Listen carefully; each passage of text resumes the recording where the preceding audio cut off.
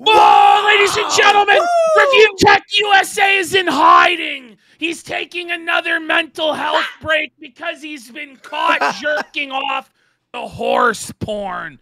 That's right, folks. We have the full on 4K tape of Review Tech USA jerking it to horse pornography. He confessed years ago that he was jerking it to horse No. porn on Facebook. but now it's all come to light and he's in hiding. He fears the casino. He can't go live. Total fucking chaos. You gotta tune in for it.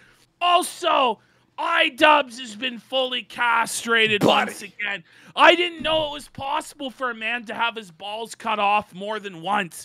but again and again and again and again, his scrotum is It's- ripped from his body. It's bad It's today. It's, it's tough. bad today. it's tough. It's tough out there.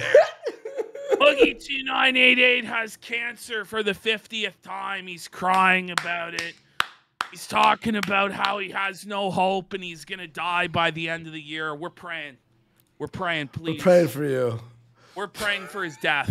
We're praying for his death on this program. Also, there we got Fuentes. Fuentes has admitted that he is genetically garbage. He says that his problems come from his genetics. He can't fix them, and he's given up all hope. Uh, Mersh is jerking off in refrigerators.